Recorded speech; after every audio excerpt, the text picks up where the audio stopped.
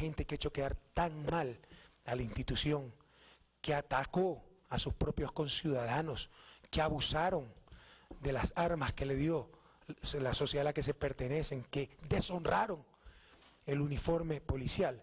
Por supuesto, todas las personas que puedan ser identificadas tendrán la sanción correspondiente. Aquí, aquí no habrá perdón ni olvido. Toma de cuarteles policiales, intento de toma de, de cuarteles militares, que nadie se engañe. Esto fue un intento de golpe de Estado fracasado y lo que han logrado es que salgamos más fortalecidos, más decididos y más unidos que nunca.